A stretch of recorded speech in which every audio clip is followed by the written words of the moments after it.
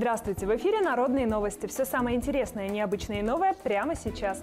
Неординарные истории без политики и негатива. В студии Валерия Гавриленко. И вот что вас ждет в этом выпуске. Африканские страсти по-арабски. Гепарды и жирафы в сердце каменных джунглей. Жизнь в розовом цвете. Как бутоны превращаются в золото. Ночь в музее. Казахстанская версия. В Караганде ожили скульптуры. Небоскребы, стрелой уходящие ввысь, ультрасовременные строения и роскошные отели меркнут, когда мимо проносится стадо антилоп, преследуемое гепардами, а рядом умиротворенно расхаживают жирафы. 12 тысяч представителей африканской фауны поселились недалеко от Абу-Даби. Никаких клеток и вольеров. Животные спокойно живут среди людей. Как в центре каменных джунглей появился сафари-парк, узнаете прямо сейчас. 50 лет назад этот остров площадью 87 квадратных километров представлял собой бесплодную равнину с обнажившимися каменистыми породами, соляными залежами и изредка встречающимся кустарником. Все изменилось после того, как бывший президент Арабских Эмиратов захотел отдохнуть от городской суеты и почувствовать себя частью первозданной природы. Шейх Заид ибн Султан Аль-Нахаян превратил это место в заповедник, высадив более полмиллиона деревьев и поселив 12 тысяч животных. Жирафы, антилопы и страусы. Чтобы избежать перенаселения, пришлось также завести хищников, гепардов и гиен. Мариус Принслу, главный управляющий сафари-парком, рассказывает, что таким образом шейх Заид хотел научить людей беречь природу.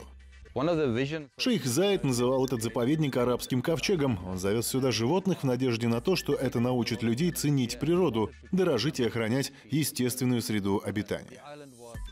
40 миллионов литров пресной воды поступает на остров с материка. Таким образом, ежедневная потребность в живительной влаге у растений и животных равна объему 17 олимпийских бассейнов. Шесть лет назад сафари-парк открылся для всех, кто желает насладиться дикой природой, покататься на квадроциклах и прогуляться по соляным залежам. Чтобы туристы могли остаться здесь с ночевкой, резиденция шейха была переделана в отель. А в прошлом году появилось еще две гостиницы. Одна из них Аль-Сахил Виллас работает для тех, кто мечтает ощутить настоящую африканскую атмосферу. 30 охотничьих домиков, разбросанных на просторах саванны, обеспечивают гостям комфорт и полное уединение.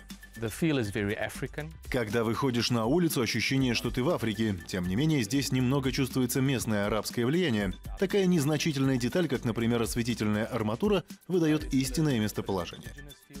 Ресторан отеля с символичным названием «Саванна Гриль» специализируется на африканской кухне, предлагая сочную мясную вырезку и зимбабвийский деликатес – пюре из сладкой кукурузы. У нас работают повара не только из Южной Африки, но и из Намибии, Кении, Уганды, так что здесь представлена полная картина африканской кухни. Стоимость одноместного номера составляет примерно 435 долларов в сутки в зависимости от сезона. Если вы устали от городской суеты, мечтаете прикоснуться к миру дикой природы и готовы к захватывающим приключениям, вам прямая дорога в Аравийский сафари-парк. Залитого солнцем Аравийского полуострова перенесемся в суровую Аляску, где к животному миру относятся не менее бережно и заботливо. Здесь расположен уникальный центр спасения полярных медведей. Если малыш становится сиротой, что часто происходит по вине охотников, специалисты Центра защиты природы спасают его от верной гибели. Сначала проводится полное обследование здоровья найденыша. Затем Американская зоологическая ассоциация решает, куда его определить. Медведица по имени Ахпун после спасения попала в зоопарк Аляски. Сейчас ей уже 15 лет. Недавно у нее появился друг из России по имени Лютик. Парочка неплохо ладит и вскоре в зоопарке надеются на пополнение. Для медведя очень важны первые три года жизни, когда, находясь рядом со своей мамой, он учится выживать. Животные, которых нам присылают, теряют родителей гораздо раньше. Находясь с раннего возраста среди людей, они вырастают в абсолютно неприспособленных к дикой природе особей, потому уже никогда не вернутся в естественную среду обитания. В ближайшем будущем здесь собираются создать транзитный центр для полярных медведей. Реализовав проект стоимостью 8 миллионов долларов, можно будет приютить гораздо большее количество белых медведей. Антидепрессант, иммуностимулятор, мощный афродизиак и антидот чувству обиды. Его роскошный аромат устраняет комплекс неполноценности, развивает чувство юмора, купирует реакции на стресс и повышает работоспособность. В древности врачи использовали масло дамасской розы для определения психологического состояния пациента. Если нанести его на браслетную область запястья, то через полчаса у людей с психическими расстройствами запах приобретает выраженные кислые ноты. У тех, кто лобилен к внешним обстоятельствам, роза засахарится. А если в аромате появляются терпкие оттенки, значит человек имеет сильный характер и устойчивую психику. Сегодня жидкое золото используют в косметологии и парфюмерии, но далеко не все знают о его тайных свойствах. Каких – ответ в нашем сюжете. С раннего утра на благоухающих полях Болгарии рабочие собирают королевские цветы, чтобы превратить их в жидкое золото. Именно так называют розовое масло за его густоту и сладковато-горькие медовые нотки. Дамасская роза – лучший источник ароматного эликсира. Ее влажные лепестки полны золотой росы. После того, как бутоны срезаны, их как можно скорее везут на фабрику, чтобы они не успели потерять форму. Цветочная индустрия обеспечивает сезонной работой около 40 тысяч человек. Климатические условия Болгарии и уникальная почва превратили регион в самую протяженную розовую долину. Здесь налажено крупнейшее в мире производство эфирного масла. Низкая температура с утра около 50 градусов по Цельсию, днем увеличивается до 25-30. Такая погода лучше всего подходит для выращивания дамасских роз и способствует высокой выработке в них жидкого золота. Влажность и частые осадки также имеют важное значение для королевских цветов. Масло дамасской розы – царственное косметическое средство. Оно обладает мощным регенерирующим свойством. Достаточно добавить пару капель ароматного эликсира в обычный косметический крем, и вы вскоре почувствуете его омолаживающее действие. Мелкие морщинки разгладятся, а вал лица подтянется – о воспалениях, раздражениях, отечности и кругах под глазами можно будет забыть. Чтобы получить 1 литр абсолюта, необходимо 4 килограмма розовых лепестков. Цена стопроцентно натурального продукта, который используют для создания элитного парфюма, достигает 10 тысяч долларов за килограмм. Болгария – мировой лидер среди экспортеров жидкого золота. Исполнительный директор крупнейшей компании по производству масла Филипп Лисичаров говорит, что спрос на розовый концентрат растет с каждым годом. Мы отвечаем за безупречное качество масла, которое производится на нашем заводе. К нам приезжают покупатели со всего мира. Франция, Великобритания, Германия, Швейцария, Испания, США и Япония – эти страны – главные импортеры болгарского масла. Сезон сбора дамасских роз начался 10 мая и продлится до 15 июня.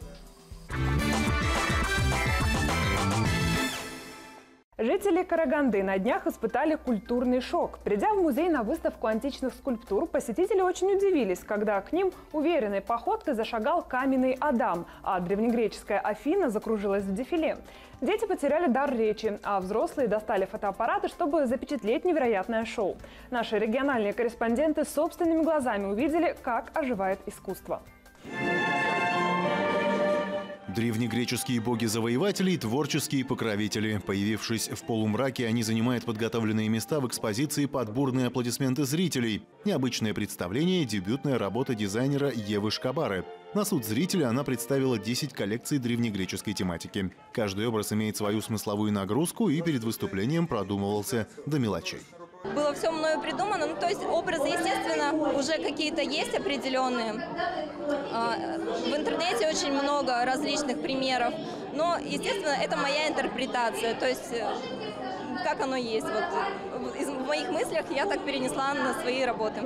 Удивительное зрелище, в котором холстом выступает тело человека, зародилось в Европе. Впервые живые статуи появились на знаменитом бульваре Ля Рамбла в Барселоне. Караганде исторические образы на себя примерили не только профессионалы, но и обычные школьники. По всем правилам актеры абсолютно неподвижны. Цветовая гамма костюма и грим идентичны цвету подлинных памятников архитектуры. Неожиданная, но плавная смена статичной позы, улыбка или приветствие вызывают большой интерес и в некоторых случаях даже легкий испуг у зрителя. Бал живых скульптур проходил на фоне выставки работ из фондов музея «Музыка формы и духа» в сопровождении световых и звуковых эффектов. У каждого художника уникальные стили техника. Представленные фото и видеоролики рассказали посетителям об истории древнего искусства и творчестве карагандинских скульпторов. А жители шахтерской столицы с большим интересом, но некоторой осторожностью фотографировались с ожившими статуями. Таким был мир без политики глазами наших корреспондентов сегодня. Если вы в курсе интересных событий, знакомы с неординарным человеком, знаете необычную историю и готовы об этом рассказать, пишите нам в Твиттере, а также следите за нашими аккаунтами в социальных сетях. А мы всегда найдем, чем вас удивить.